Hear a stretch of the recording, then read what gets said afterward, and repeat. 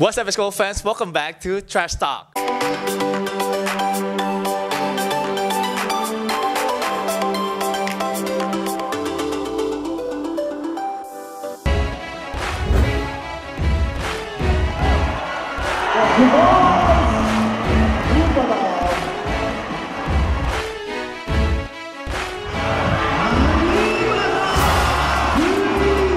Balik bareng gue Ruki Padilla dan sebelah kanan gue ada seorang legenda basket di Indonesia, Andi Batam. Di Pak, panggilnya apa ya? Tam, apa kabar Tam? Tam, baik baik baik Rock. Ini akhirnya gue bisa masuk di channel YouTube-nya Rocky Padilla nih. Banyak sebenarnya anak gue sebenarnya yang pengen. Ebi ya, Ebi yang pengen. Iya, Abi, ya. Nah, Tam, sekarang kita ngomongin lo, udah selesai di basket, sekarang kesibukannya apa nih? Eh, sekarang sibuk kerja terus eh, ya mencoba di luar basket dulu lah maksudnya sambil belajar juga ke dunia kerja tapi tetap masih ada passion basketnya tuh kita nggak bisa hilang sih tetap masih apa ya masih ada lah ada Dan ini interviewnya udah kayak gue ngikutin Quentin Richardson sama Darius Malsa yang nggak pakai notes nih, bener-bener improvise aja. Tapi sekarang kita ngomongin dari karir basket lo di SMA dulu deh. Lo kok dulu SMA-nya di mana tuh? Eh, SMA di SMA 3 Oh, SMA Setiabudi Oke. ya banyak hampir semua rata-rata pemain yang banyak bagus kita ada Rico Antono ada Prastawa ada Daniel Wenas Kok angkatan lo dulu siapa aja? Yang, yang Em, terkenal lah, yang orang bisa tahu lah kira-kira. ya Rico gue sama Rico bareng sama Andre Tiara bareng Betul. sama ada Atmadi Mahendra Bot juga barengan di eh, ada Marcel juga Itu jago-jago banget, nggak kalah-kalah dong. Ah, so far sih selama gue SMA gue nggak pernah kalah ya. gila iyalah itu jago banget ada Andre Tiara ada Mbot semua dan juga ada Rico sih gila sih dan setelah lu dari SMA itu lu main di kampus dulu atau gimana dulu Enggak, langsung. Dari Oh, langsung. SMA kelas 2 tahun 96, 97, 97 gue langsung pertama kali ditawarin gabung sama Aspak. Sebenarnya pada saat itu memang gue udah ikut latihan juga, latihan di IM sempet, latihan di Pelita Jaya sempet. Tapi berhubung gue deket sama Rico, Rico cuma bilang, eh, yuk main di Aspak. Gue nggak nggak banyak nggak banyak mikir lagi langsung. Oke, gue main di Aspak.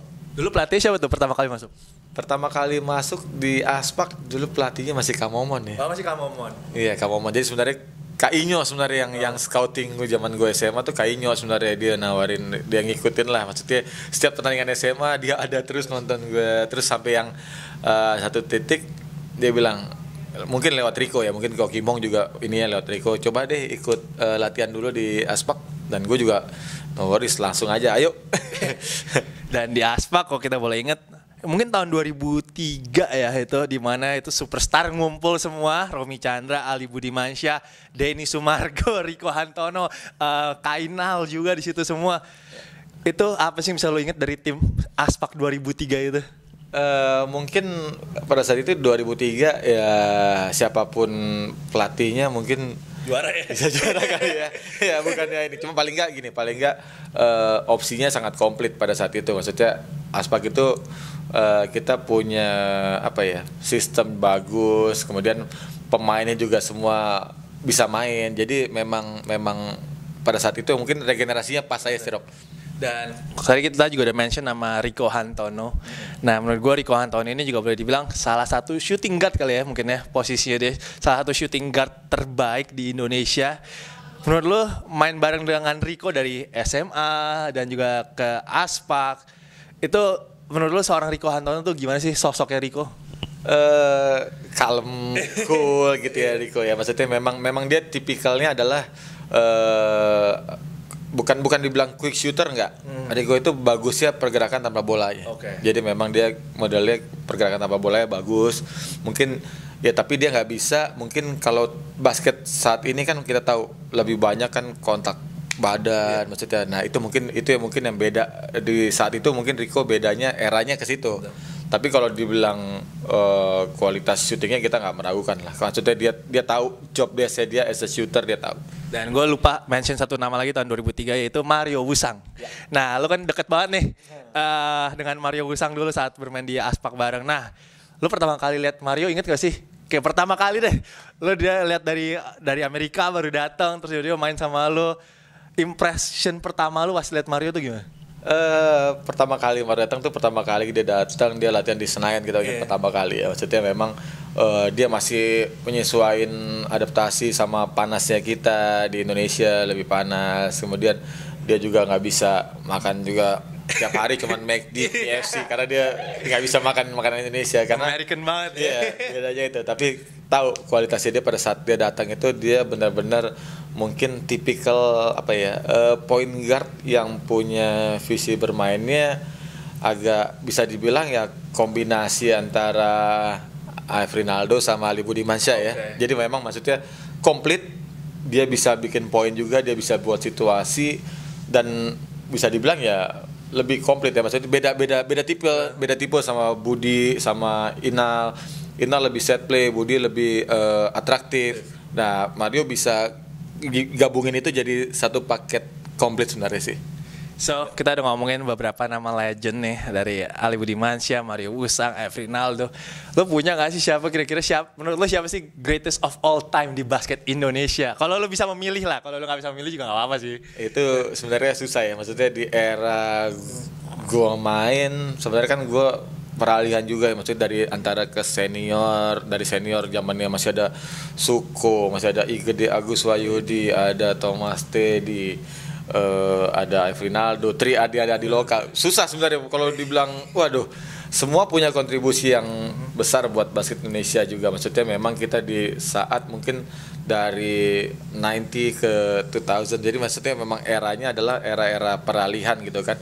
Cuman kalau dibilang paket komplit susah sih gue jawabnya. Maksudnya memang memang masing-masing pemain tuh punya karakteristik yang eh, berbeda gitu. Maksudnya dibilang dominan banget enggak dan mereka punya punya kualitas masing-masing gitu kan. Beda di era kalau di kita lihat di NBA kan wah eranya Michael Jordan oke dia emang dominan banget Bulls. Sementara kalau di Indonesia pada saat itu eh, bukan tipikal yang dibilang dominan karena basketnya pada saat itu lebih banyak ke ball movement nggak nggak nggak bukan isolation one on one. Jadi memang lebih dilihat adalah timnya gitu Rob Dan waktu itu kalau nggak salah Aspak tuh pernah juara berapa kali gitu Bruno lo pernah ingat? Iya, itu 22 kosong ya kita Iya. juara sampai juara dari dari dari awal season sampai eh, Champions kita nggak pernah kalah. Gila, ya itu itu itu saat gabung tuh pas banget tuh maksudnya eh, Budi baru gabung ya kan maksudnya masih ada almarhum Hari, Hari Suarsono juga. Jadi memang pada saat itu sih momennya sih mungkin sampai saat ini ya masih belum ini ya belum, belum pernah terjadi lagi ya. ya. Tapi untuk lu sendiri momen lu kan main basket lama banget nih di profesional ya dari liganya ganti nama sampai ganti nama lagi. Pokoknya, Tapi momen terbaik lu atau momen yang paling lu kenang lah sama lu basket apa? eh bilang banyak sih sebenarnya ya maksudnya eh, buat dari gue SMA juga masuk ke pro sebenarnya banyak banyak banyak momennya gitu. Tapi kan kita kan paling berkesan kan di sini adalah kalau kita udah bisa bawa nama Indonesia di SEA Games terus dapat medali ya walaupun the best medali yang pernah kita capai kan memang Indonesia ini perak selalu ya. Tapi itu kan punya kesan yang tersendiri gitu. Maksudnya emang nggak gampang sebenarnya karena persaingan di Asia Tenggara ini kan memang dominannya adalah Filipina. Tapi kita tuh selalu ada konsisten nih harusnya di Perak di Perak memang memang perlu perlu apa ya? Perlu sedikit extra effort ya mungkin dari ya dari perbasi dari dari liga juga. Jadi memang eh, naturalisasi itu emang ya bukannya gua menolak untuk tidak menaturalisasi pemain Indonesia. Tapi kalau memang mereka punya darah Indonesianya kenapa enggak Wah, ngomongin topik naturalisasi kita masuk ke situ ya deh. Tanggapan lu sekarang kan gosipnya ini belum pasti Maxi Esho Iya. akan dinaturalisasi. Tanggapan lu gimana tuh? eh ya oke sebenarnya tapi kan kalau memang kita mau bicaranya lebih ya kita lihat aja sekarang Filipina aja yang naturalisasi ex NBA player mereka buat nembus ke FIBA World aja setengah mati ya Rob? Betul. ya kan? Kalau kita cuma mau sampai Asi, eh, SEA Games Asian Games kalau mau jangan tanggung-tanggung gitu. Karena kalau terlalu tanggung sayang gitu. Percuma kan? Maksudnya ambil naturalisasi eh, kelasnya mungkin tidak sampai NBA player atau tidak sampai division player di NCAA cuman tanggung juga. Jadi apa ya sebenarnya ini pro kontra sebenarnya pro kontra buat uh, pemain basket Indonesia juga karena kita tahu juga pemain-pemain muda juga kan pasti ingin juga uh, represent Indonesia uh, sebagai national team tapi satu sisi kita juga mesti punya target yang lebih baik lagi ke depannya Tam kemarin ngomongin IBL mau zaman sekarang ya, ya. Uh, generasi sekarang. Ada nggak sih satu pemain yang ngingetin lu sama diri lu saat lu muda gitu? Hmm, siapa ya? Gue lebih lihatnya banyak sih pemain yang model tipikal ya. Uh, mungkin lebih ke siapa ya? Kalau yang mirip-mirip ya ke Rizky ya, Rizky oh. Effendi hampir mirip lah. Maksudnya uh, lebih apa ya? Hampir-hampir sama. Bedanya gini, zaman gue dulu main gue itu spesialisasinya sebenarnya uh, apa ya nggak nggak nggak banyak three point ya sebenarnya lebih banyak tuh yang one to step maksudnya emang uh, dua poin tapi uh. tapi gue matangin di situ maksudnya spesialisasinya adalah di situ gitu tapi seiring uh, kita makin apa ya makin matang gitu maksudnya lebih lebih tahu cara mainnya role nya sebenarnya lebih efektif kalau kita bermainnya sebenarnya outside shooting gitu. Kalau kita punya shooting bagus, itu sebenarnya buat buat kita nilai plus sebenarnya. Karena satu sisi kalau kita bisa bisa drive sama uh, quick jump shot, kita bisa three point. Sebenarnya banyak opsinya, kita kan banyak opsinya. Jadi dan dan kita juga nggak perlu kontak kontak body juga sama yang big man. Otomatis kita juga nggak jauh. Maksudnya kita menghindari, bukannya kita apa ya menghindari injury. Injury bisa kapan datang aja, bisa datang kapan aja gitu. Cuman paling tidak kita lebih smart dalam bermain. Tapi lu kalau ada pemain IBL ada nggak yang lu enjoy lah sekarang tuh lu suka suka nonton terus lu ngikutin karirnya gitu ada nggak? Uh, pemain sekarang ya? Iya sekarang. Pemain sekarang banyak yang muda-muda lebih modelnya lebih ini ya, lebih cepat ya. -huh. Maksudnya lebih suka siapa ya? Banyak sih ya, yang lebih agresif si apa? Hmm, bingung gue jawabnya. Banyak banyak. Mas, mas, maksudnya paket komplitnya banyak. Maksudnya kita lihat uh, Daniel main bagus Wenas, ada ada Indra Muhammad juga bagus. Terus dulu ada Nuke. Iya, maksudnya uh, apa ya? Uh, berani main maksudnya. Cuma masalah adalah di kita ini kadang masalahnya adalah postur. Kita bukan bukan kita menghindari masalah postur ya. Cuman postur ini di basket tetap lah walaupun kita lihat mungkin banyak pemain Indonesia average-nya di 180 tapi kita mesti tahu juga maksudnya perlu pemain yang average 190 kita tahu banyak ada Avan ada Kevin maksudnya mereka punya punya apa ya size punya bagus. size bagus gitu paling enggak tinggal gimana cara ngebentuk mereka bisa lebih efisien dalam bermain sih lo nggak ada kepikiran jadi pelatih basket Tam? Uh, itu jawaban yang ini sebenarnya. Eh, apa pertanyaan yang sulit buat gue ya. satu sisi passion gue masih ada di basket. Cuman sekarang kan lebih apa ya lebih ada sibuk kerjaan juga. Tapi yang jelas mungkin saat ini gue sih ngelatih anak gue dulu aja ya. Maksudnya biar orang juga akan lihat gitu. Maksudnya gue pengen uh, Abi bisa bisa apa ya bisa nunjukin. Maksudnya oke okay, uh, anak gue punya skill paling enggak dia punya skill di atas rata-rata gitu. Dan dan dia juga mau apa ya gue gue bisa bisa ngasih yang apa ya masukan yang yang begini loh ini begini loh buat anak-anak yang usia dini. Karena biar gimana pun basic fundamental basket itu dimulai dari awal. Kalau seandainya emang banyak yang telat dalam bermain tapi ada juga yang cepet. Tapi kalau seandainya lebih sedini mungkin itu kan lebih bagus buat ke depannya. Enak ya interview Batam bridgingnya itu gampang. Karena kita ngomongin tentang anaknya nih lo lagi nonton anak lo Abby itu lo tipe bapak-bapak yang gimana sih? Yang kayak teriak-teriak gitu atau ngasih ngasih masukan terus sering protes ke wasit mungkin. Lo tipe bapak yang gimana kalau nonton anak?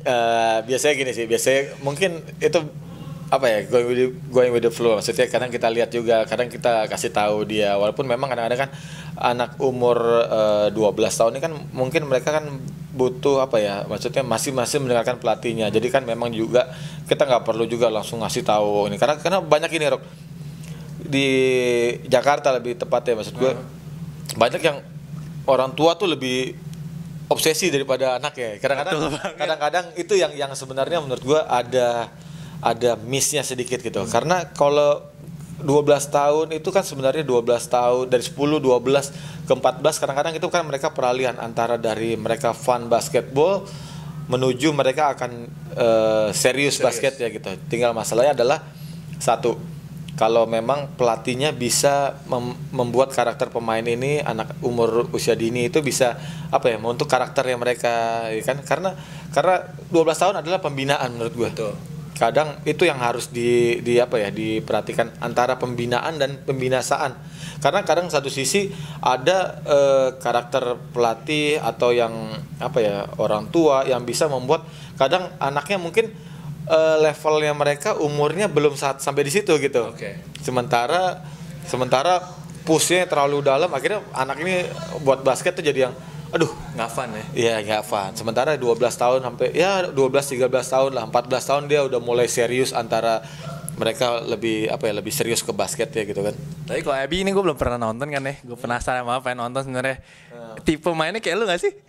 Uh, beda ya beda. beda. Karena dia tipe tipikalnya mungkin anak sekarang kan wah senangnya lihat Stephen Curry, okay. Kyrie Irving. Jadi emang ya biarin aja lah going with the flow. Maksudnya memang mereka sekarang lebih gampang karena visualisasi mereka lihat dari YouTube, mereka lihat dari game-game NBA itu lebih lebih gampang buat mereka berimajinasi. Sementara kalau gue pribadi gue ngajarinnya adalah yang lebih basic eh, seperti ya mungkin basic dribble, basic shooting, posisinya mesti gimana, basic passing mesti gimana. Jadi memang tetap aja basketball biar gimana pun fundamental basic itu memang yang paling utama sih. Tapi kalau dia bilang, "Pak, mau jadi pemain profesional loh." Gitu. Lo mendukung dan mensupport ini atau gimana nih? Uh, eh, gue tipikal yang uh, support. Uh-huh. anak gue mau apa gue akan support. Gue nggak akan pernah batasin maksudnya uh, lu harus ini lu harus ini. Gue nggak sih. Gue selama anaknya seneng kita sebagai parent sebenarnya hanya cuman mengarahkan aja sebenarnya. Tinggal kita support mereka mau kayak gimana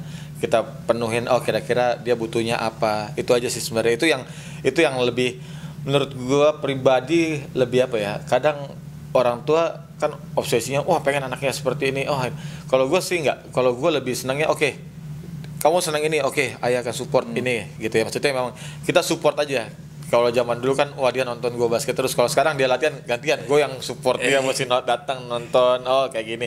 Paling nggak kita kita kasih support uh, apa ya support tuh nggak nggak cuman dari apa ya jadi mereka lihatnya moral sih menurut saya orang tua kan wah ini orang tuanya support tinggal gimana mereka berkembangnya ke depannya sih. Orang tua panutan nih sebenarnya. Ebi dengerin tuh papa udah kasih tuh kalau jadi pemain profesional. Tam Ya. Thank you banget ya you, untuk interviewnya. Thank you, thank you, banget nih. Eh, gila. akhirnya masuk di channelnya Rocky yang which is gue tahu dari kecilnya Rocky gimana. Gila main gue kenal Batam udah berapa 20 tahun ada kali gue rasa gue kenal Batam sih. Dia juga kenal bokap gue. So ini salah satu interview yang seru juga sih. So guys, thank you aja jangan lupa untuk follow Andi Batam nih di Instagram ya. dan jangan lupa untuk like juga video ini, komen dan subscribe. Thank you guys for watching. We'll see you guys next video. Peace.